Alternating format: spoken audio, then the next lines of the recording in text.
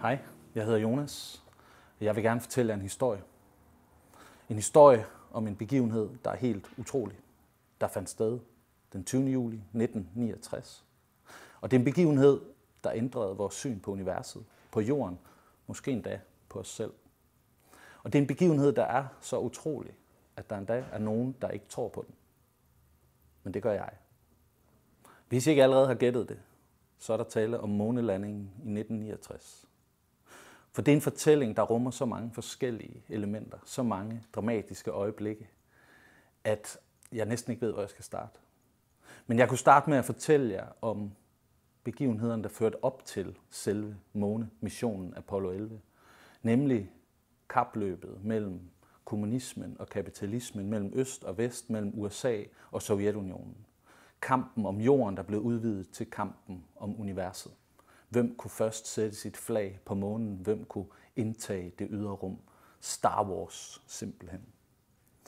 John F. Kennedy sagde i 1961, at han inden det her årti var udløbet, vil sætte et menneske på månen. Det er et valgløfte, der vil noget. Og han gjorde det, for i 1969 skete det. Men det er ikke den fortælling om de politiske omstændigheder, jeg vil fortælle jer i dag. Men, for jeg kunne også fortælle jer om de økonomiske omkostninger, det havde at sende mennesker til månen. Apollo-missionerne kostede, hvad, hvis vi regner det om til penge i dag, omkring 1000 milliarder danske kroner. Og man kunne spørge sig selv, om de penge ikke kunne være givet bedre ud i et land som USA til sundhedsforsikringer, til noget helt andet, til i hvert fald noget, der ikke havde med det ydre rum at gøre. Man kan også tale om de teknologiske bedrifter. For mig er det fuldstændig vanvittigt at overvældende at tænke på, at man i 69 var i stand til at sende mennesker til månen. Altså for mig er 1969 et tidspunkt, hvor farvefjernsynet kun lige var blevet opfundet, og hvor man nærmest ikke kunne finde ud af at køre biler. Øh, og alligevel er man i stand til at sende mennesker til månen. Og der er faktisk mange opfindelser, der er blevet til på grund af månemissionerne. Blandt andet velcro til vores sko, så os, der har haft svært ved at binde snørbånd, vi fik lidt hjælp. De blev opfundet dertil. Men det er heller ikke det, jeg vil fortælle jer om i dag. For jeg vil fortælle jer om selve månelandingen. Det øjeblik, hvor mennesker satte deres fødder på månen for første gang. Men på vej til det udspillede sig et kæmpe drama, der var ved at ende i en katastrofe. Fordi da de to astronauter, Armstrong og Aldrin, de skulle ned til månen, så måtte de forlade moderskibet Columbia for at sætte sig ind i det lille landingsfartøj The Eagle. Og her skulle de selv styre ned og finde et sted at lande på månen. Det sted var udvalgt på forhånd af NASA's ingeniører. Men det viser sig så, da de nærmer sig, at det sted, der er udvalgt, faktisk ikke egner sig til at lande. Der er simpelthen et stort krater, der vil ødelægge landingsstedet. Og hvad gør man så, når man er astronauter? Jo, man slår automatpiloten fra, og man sender Aldrin hen og kigger ud af koøjet, eller hvad det nu hedder på et rumskib. Og Armstrong sætter sig bag roret, eller hvad det nu er, på et rumskib. Og så sidder de ellers og styrer frem, mens han siger lidt til højre, lidt til venstre. Ah, vi skal derover. Og i sidste øjeblik får de sat The Eagle ned, så de kan sige de berømte ord, The Eagle has landed.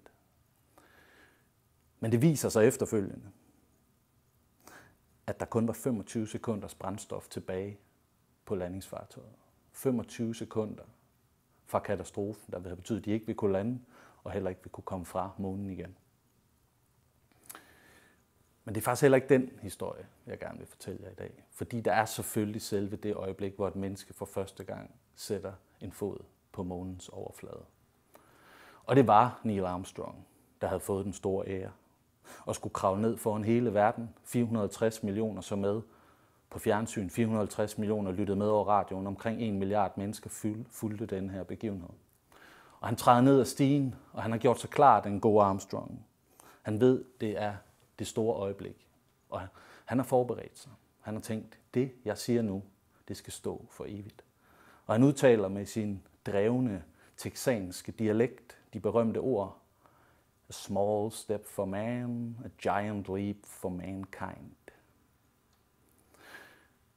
Og så kunne det jo næsten ikke være bedre. Men der er altså nogen, der mener, at den gode Armstrong, han simpelthen dummer sig. At han simpelthen kigger det store øjeblik. Og det er simpelthen fordi, at han siger, a small step for man.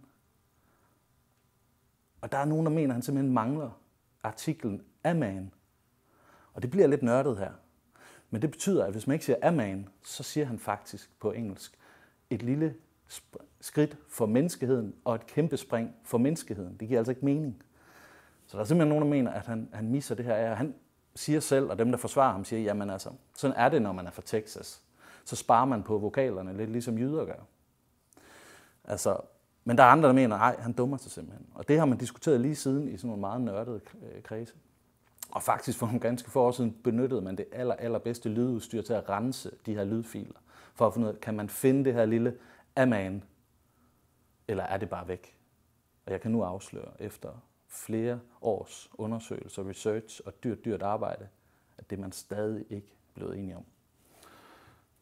Men skal vi ikke lade tvivlen komme Armstrong til gode?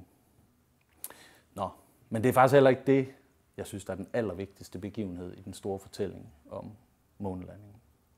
Fordi de hopper jo rundt på månen, de spiller golf, de samler sten, og så skal de tilbage igen ind i rumskibet. Jeg tror, de er lidt kåde øh, kække oven på den her månevandring. Og Buzz Aldrin, han er måske så kække, at han kommer til at hoppe lidt rundt. Der sker i hvert fald det, som ikke måske, og som lyder som om det er en dårlig Hollywood-produceret film, hvilket nogen så også mener, at det er. Men lad nu det ligge. Øhm, men der sker faktisk det, og det er ikke engang løgn, at Aldrin med sin rumdragt kommer til at slå til og ødelægge den knap, den mekanisme, som de skal bruge til at, at fyre sig selv op, op til Columbia, op til moderskibet. Det, det lyder utroligt, men det er faktisk rigtigt. Og hvad gør man så, når man er astronaut?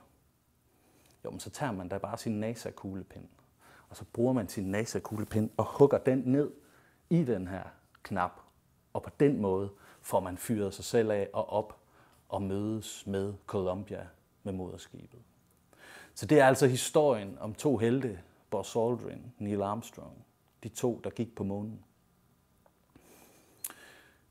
Men det er faktisk heller ikke den fortælling, jeg vil dele med jer i dag. For vi skal længere ind, eller længere ud, alt efter temperament.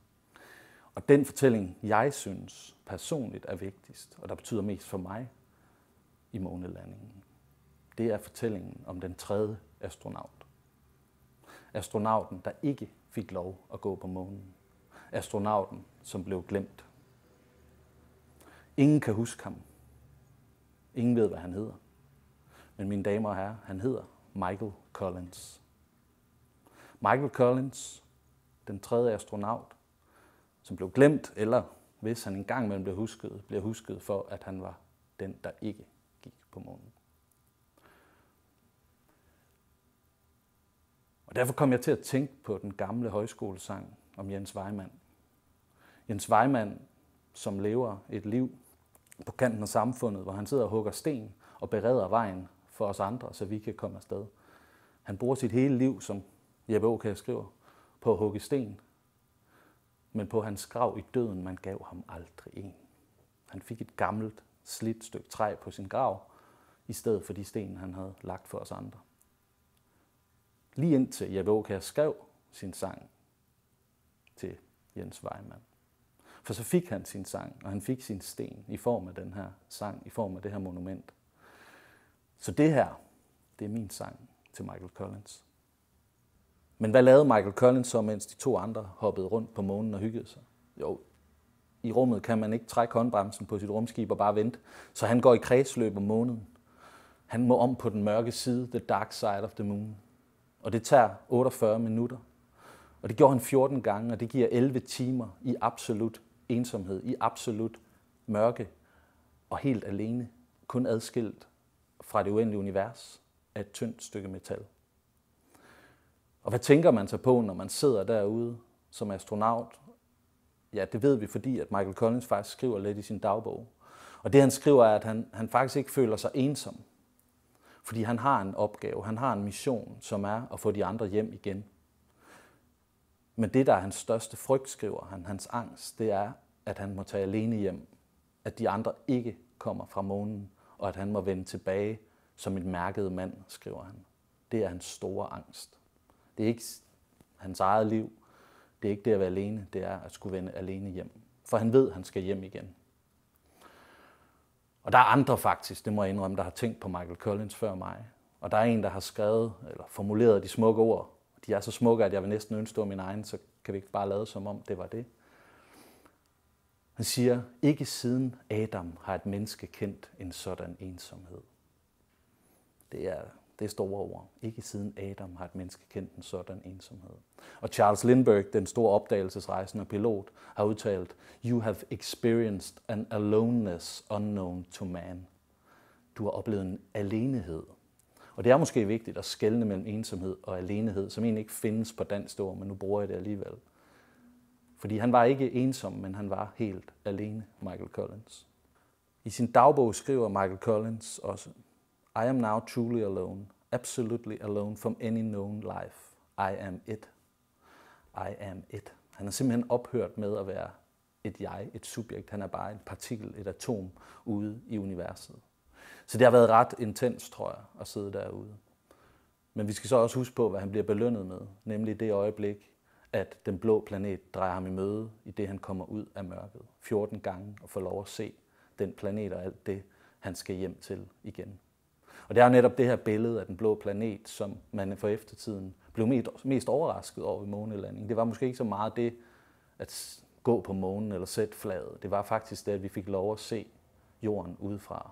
Opleve den blå planet, hvor sårbar og lille den er i det store univers.